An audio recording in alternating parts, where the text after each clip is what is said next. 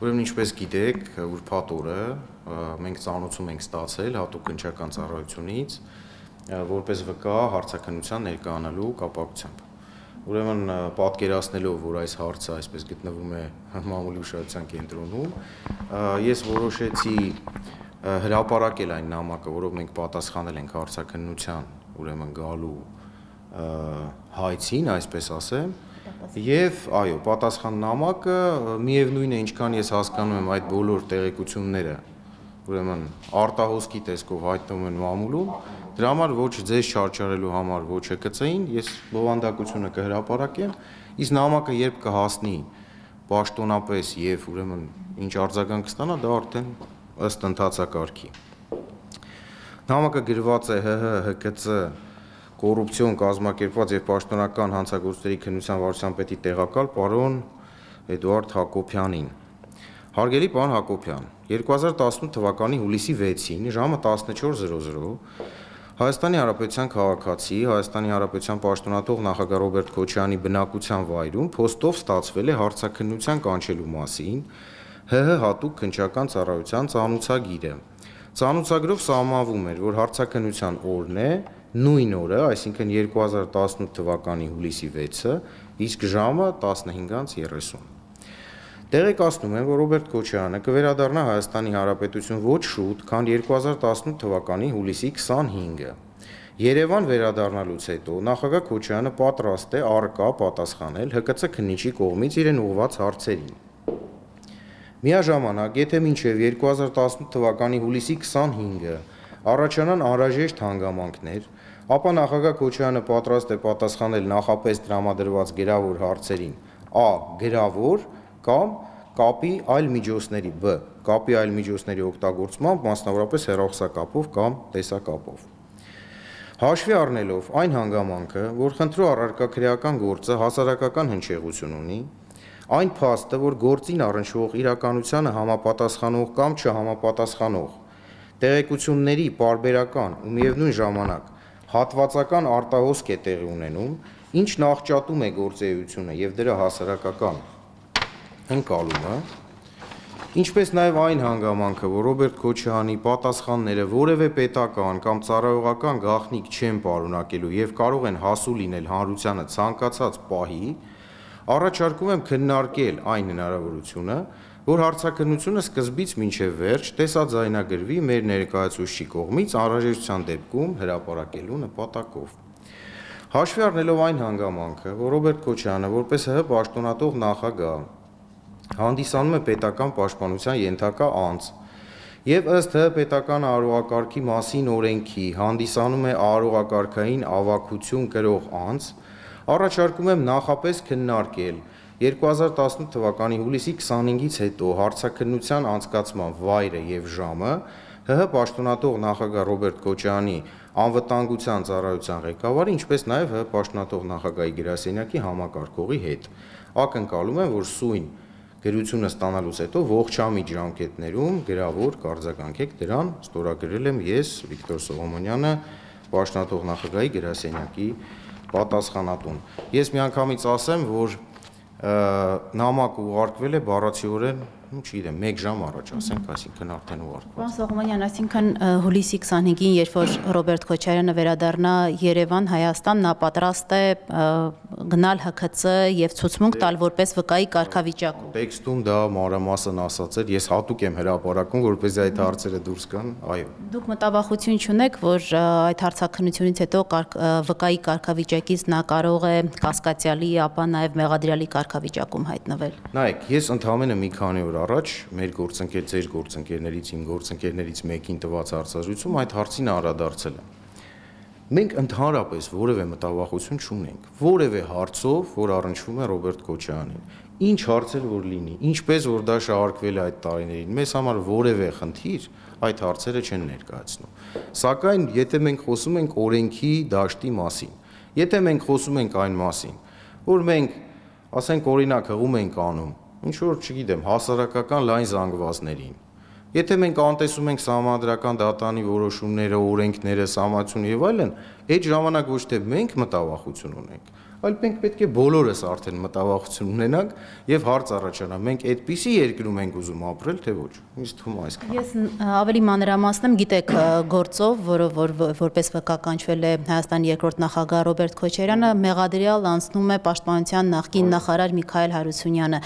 եւ կան ձայնագրություններ փաստահավաք խմբի շրջանակներում արված հարցակնության, որտեղ որ նա ասում է, որ ինքը գործել է Գերագույն գլխավոր հրամանատարի տվյալ դեպքում Ռոբերտ Քոչարյանի ցուցումով, այսինքն եթե նույնիսկ այն մեղադրանքը, որը նրան ներկայացվել է, որ սահմանադրական կարգը բռնի կերպով տապալել են, ապա նա դա արել է Ռոբերտ Քոչարյանի ցուցումով։ Հիմա այստեղ է հարցը, որ մտաբախություն չունեք, որ կա այդ ցուցմունքը եւ դրա հիման վրա Քոչարյանին կարող են ներգրավել արդեն կասկածյալ ու մեղադրյալ։ Ստիպված եմ կրկնեմ իմ ասելիքի վերջի մասը, այսինքն օրենք, օրենքի եւ ապօրինության մասին։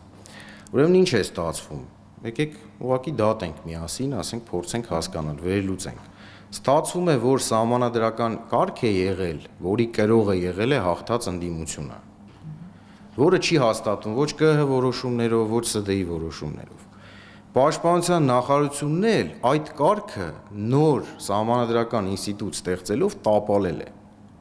Սա ծաղր է օրենքի նկատմամբ։ Սա ուղղակի ծաղր է։ Իմ գործընկերներից մեկը, որին շատ վաղուց ճանաչում շատ լավ արտահայտվեց օրերս, ասեց, չեմ հավատում, որ այդ եզրակացությունը գրել է իրավաբան։ Եսը չեմ հավատում ես դրա մասին ասեմ։ Բայց սահմանադրությունն արկելու մեջ ճիշտ է բանակը զինված ուժերը օգտագործել քաղաքականության մեջ, ինչը եւ արվել է ըստ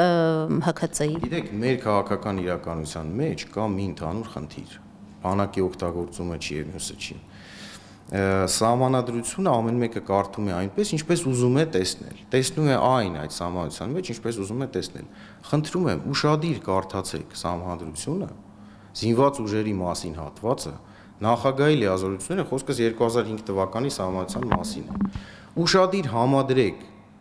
ուրեմն այդ ձեր կոչ այսպես կոչված փաստավակ խմբի փաստերի հետ եւ դուք կտեսնեք, որ ակնհայտ փաստեր ուղղակի անտեսված են Այսինքն պարզապես հարմարեցում է տեղի ունեցել այն քաղաքական նպատակներին, որ փաստահավաք խումբը հետապնդել է։ Իսկ այդպիսի նպատակները ակնհայտ են, դրանց գոյությունը ինձ թվում է քննարկումից դուրս է։ Այնպես որ նորից եմ ասում, եթե մենք գործում ենք օրենքների դաշտում, եթե մենք խոսում ենք սահմանադրության պահպանման մասին, օրենքների պահպանման, եթե ընդհանրապես մենք օրենքների դաշտում ենք, ապա որևէ խնդիր չկա, չկա այնպիսի հարց, որը կստիպի մեզ անհանգստանալ ինչ որ բանի համար, ձեր ասացի համար, ինչ որ ուրիշ բանի համար։ Բայց եթե մենք խոսում ենք,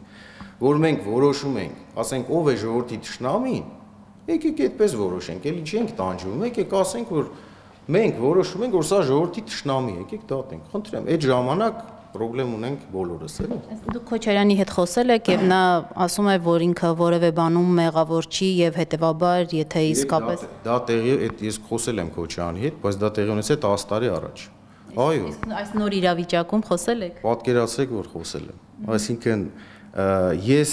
վստահ եմ մի բանում։ Այն ժամանակ, երբ որ փաստերը կբարձվեն, եւ ոչ միայն այս գործով, շատ այլ հարցերով, որոնք կապված են օրինակ ինչ որ առասպելական ունեցվածքների հետ։ Ասենք հիմա այս վերջերս տեսնում եմ հոկտեմբերի 27-ի գործերի հետ։ Հանրությունը մեծ զարմանք է ապրելու, մեծ, որ parzվում է տարիներ շարունակ։ Ուղղակի վայրահաճոց է եղել մի թեմայով, որի հետ նախագահ Քոչարյանը որևէ առնչություն չունի։ Մեծ կարողություններ չունի Ռոբերտ Քոչարյանը, պարոն Սողոմոնյան։ Իսկ դուք կարող եք ցուցադրել այդ մեծ կարողությունը։ Ես կարող եմ թվարկել ինչա գրված մամուլում, ընդ որում ինչի է հեշտ թվարկել, որտեվ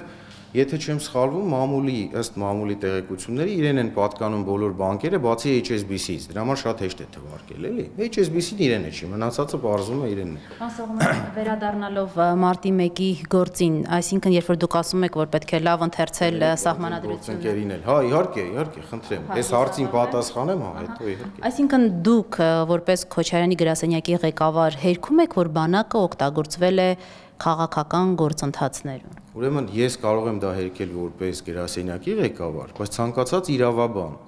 որը կկարդա սահմանադրությունը, կհամադրի օրենքները, ուշադիր կկարդա առանց քաղաքական պատվերի, առանց քաղաքական այդ 0038 հույժ գախտնի հրամանը, պարոն Սողոմոնյան։ Եվ ինչ է գրված հրամանում։ Ինչ կառույց է ստեղծվել ներողություն։ Երևանի կայազորում կոնկրետ կառույցներ են ստեղծվել, որոնց միջոցով էլ եւ իրականացվել են այդ բոլոր գործողությունները մարտի 1-ին ապահովելով զինված ուժերի ներգրավվածությունը խաղաղ ցուցարարներին ճնշելու գործում։ Ես նորից ձեզ ուզում եմ ասեմ, որ เป զի դուք ուղակի, այսպես ասեմ, դուք ռոպագանդայի իրականացնող որպեսի չդառնաք։ Ուշադրությամբ կարդացեք լիազորությունները Գերագույն գլխավոր հրամանատարի, ուշադրությամբ կարդացեք նրա հրամանագիրը, ուշադիր կարդացեք Պաշտպանության նախարարի եւս մեկ անգամ այդ 0038 հրամանը եւ դուք եզրակացությունները անելու եք առանց ինձ։ Ես իրավաբան չեմ, որ ձեզ բացատրություններ տամ, կան իրավաբաններ, որոնք դա հաճույքով կբացատրեն եւ ողջվելու է, որ դա բավականին པարս խնդիր է։ Ուղղակի փաստահավաք խումբը եւ բոլոր մնացածները, ովքեր, ինչպես ես իմացա Ազատություն ռադիոկայանի եթերից, ուղղորդվում են փաստահավաք խմբի ուրեմն աշխատանքով։ Ուղղակի 1-2 բառ բաց են թողնում սահմանադրությունից, այսինքն բոլորը թվարկում են, բայց այն բառերը, որոնք բացարձակապես օրինականություն են հաղորդում Ռոբերտ Քոչյանի գործողություններին Սահմանադրության այդ դրույթները միտումնավոր բաց են թողնում։ Ինչպես էին ուղղորդվում ներողությունի թեմաները։ Սեդա Սաֆարյանը տեսակետների խաշմերուկ հաղորդմանը բացեի բաց հայտարարեց, որ իրենք Անդրանիկ Քոչյանի հետ գնացել են ՀԿՑ եւ իրենց ցույց են տվել դեպի Ռոբերտ Քոչարյան տանող ճանապարհը։ Ես բառացիորեն ցիտում եմ։ Եթե դուք սա համարում եք օբյեկտիվ եւ ապակաղակականացված, ուրեմն մենք քաղաքականությունից տարբեր պատկերացում ունենք։ Պարոն Սողոմյան, բայց մենք տեսել ենք, չէ՞, այդ կադրերը զինված ուժերի պաշտպանության նախարարության աշխատակիցների պետ համարանիշներով մեքենաների ամբողջ այդ մենք տեսել ենք, չէ՞, կենտրոնում Երևանի։ Ես ձեզ ավելին ասեմ, դուք չէիք կարող չտեսնել, որովհետև Ռոբերտ Քոչարյանի արտակարգ իրավիճակի մասին հրամանագիրը հստակ սահմանում է որ այդ ռեժիմի իրականացումը, արտակարգ իրավիճակի ռեժիմի իրականացումը դրվում է ՀՀ ոստիկանության եւ ՀՀ ՊՆ-ի վրա։ Որ դա հակասահմանադրական է, արտակարգ դրության ժամանակ զինված ուժերը չեն կարող ներգրավել, պետք է ռազմական դրություն լինի եւ երեք նախապայման։ Ուրեմն դա նորից եմ ասում, դա հատվածական սահմանադրության ընթերցում է, հատվածական։ Ես իրավաբան չեմ, դուք ելի դեպ ու ես չեմ ուզում ձեր հետ մտնեմ այդ թեմայով պոլեմիկայի մեջ բայց ես էլ հիմա հակառակն եմ պնդում որպես ինչպես իրենք են պնդում որն է եթե արտակարգ դրության ժամանակ չի թույլատրվում զինված ուժերը ներգրավել քաղաքական գործընթացներում այդ դուք որտեղ եք կարդացել ինձ դա է հետաքրիր դուք կարդացել եք այն հատվածական եզրակացությունները բայց դրա մասին եմ խոսում Երբ որ դուք ամբողջությամբ կկարդաք, մենք կարող ենք նստել միասին կարդալ։ Ես ձեզ կարող եմ այդ հոդվածները ցույց տալ, եւ ես հորդորում եմ եւ մեր հանրությանը եւ մասնագետներին ուշադիր կարդալ նախագահը ինչ լիազորություններ ունի երբ է կարողանում կիրառել զինված ուժերը արտակարգ իրավիճակ երբ է հայտարարում եւ ինչին են ծառայում զինված ուժերը ՀՀ-ում ըստ 2005 թվականի համանadrության երբ որ այդ ամբողջը կարդաք շատ հստակ կտեսնեք որ Ռոբերտ Քոչյանի բոլոր գործողությունները եղել են բացարձակ հիմնավորված Ինչ վերաբերում է հրամանին, դա ՊՆ-ի ներքին հրաման է եւ համադրությունը չի ասում, որ այդ հրամանը պետք է համաձայնեցվեր Ռոբերտ Քոչյանի հետ։ Այլ հարց է, որ այդ օր եղել է խորհրդակցություն, որի մասին նախագահ Քոչյանը ինքը կպատմի, ես կարծում եմ հենց այսօր տրված մի հարցազրույցի տակ ցույց կտակ սահմանադրության այն դրույթը, որը որ դուք եք կարդացել եւ չի չեն տեսել փաստահավաք խմբի անդամները, որ արտակարգ դրության ժամանակ Ռոբերտ Քոչարյանի իրավունք ուներ զինված ուժերը կիրառել այդ ցույցերը ծրելու գործում։ Ես ես չեմ ներողություն եմ խնդրում, ուղակի հարցը ավարտեմ։ Ես հարցազրույցից հետո ձեզ անպայման ցույց կտամ։ Մենք չենք հավաքվել իրավաբաններով քննարկում ունենանք։ Ես նորից կրկնում եմ, Ռոբերտ Քոչյանի բոլոր գործողությունները եղել են օրենքների եւ սահմանադրության շրջանակներում։ Մնացածը իրավաբանները կարծում եմ իրար կապացուցեն։ Հենց որ հարցը կրկին վերադառնա քաղաքական հարթակ, ես դες խոստանում եմ ձեզ անձամբ parzabanել։ Բայց հարցազրույցից հետո մեր ուրեմն ունկնդիրներին հերոստատողներին չտանջենք իմ ուրեմն իրավական գիտելիքներով։ Երևի թե հիշում եք, հա Բուլգակովի մոտ այսպիսի երևույթ է նկարագրած massական հիպնոզ։ Հիմա հաջողվել է ինչ որ մարդկանց, ասենք կոնկրետ չեմ ուզում մեղադրանքներ հնչեցնել, բայց հաջողվել է, ասինքն այսպես ասեմ, գաղափարական ամայության ինչ որ իմաստով պայմաններում հաջողվել է որոշակի մարդկանց դա բերել ուղակի այսպես աղճատելով, օրենքները կեսը ինչ որ բառեր նկատելով, կեսը չնկատելով, բերել ու գալ սխալ եզրակացություններ եւ այդ եզրակացությունները տարիներ շարունակ, այսինքն հերարցակվել են։ Նույն տրամաբանությամբ ինչ վստահությամբ որ դուք հարցնում եք, ինչ վստահությամբ որ ես պատասխանում եմ։ Խոսքը վերաբերում է մյուս գործերին։ Ես պատահական չէր որ անդրադարձա դրանց։ Եվ հոկտեմբերի 27-ի հարցին, եւ այդ ունեցվածքին Դուք սովորել եք, չէ՞, որ այսպես գլուխը ճոճելով ասում են, դե հոկտեմբերի 27-ը, դե մարտի 1-ը, դե միլիարդները։ Ես ոչ մեկը դրանցից չեմ տեսել, ճիշտ ասած։ Խնդրեմ, ապացույցներ, փաստեր, համեցեք, դուք ցույց տվեք այդ ունեցվածքը։ Այդ հոկտեմբերի 27-ի մասին կան որ խոսում են։ Ինչ որ բան կա, որի մասին ինչ որ մեկը լռում է, այս 20 տարի է։ Ես չեմ կարծում։ Դե նոր քննություն սկսվի, ինչպես մարտի 1-ի գործով պարոն Սողոմոնյան։ Ես դրա համար ընդամենը մի քանի օր առաջ արել եմ հայտարարություն, տվել եմ այդ հարցազրույցը եւ հայտարարություն եմ արել։ Ցանկացած բացահայտում, ցանկացած գործով, որ առնչվում է Ռոբերտ Քոչյանի ինչ որ երբ, այսինքն կա հարց, որը առնչվում է իրեն։ Ցանկացած բացահայտում լինելու է իր օգտին։ Կապրենք, տեսնենք։